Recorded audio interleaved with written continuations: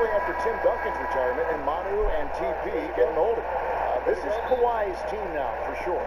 Hey, Brent, two monster defensive teams tonight. Approach is their shot selection. They prefer easy layups or threes. Very rarely will you see them play that. Why do you think that's so? Well, I think what gives in that scenario, Kevin, is it's so far as Gregg Popovich talked about developing players. He said our method is usually tough love.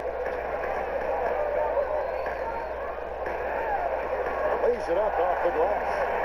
DJ's Who you think are going to damage you, and he stepped up and delivered that huge three-point shot. They're finding basket from Gasol.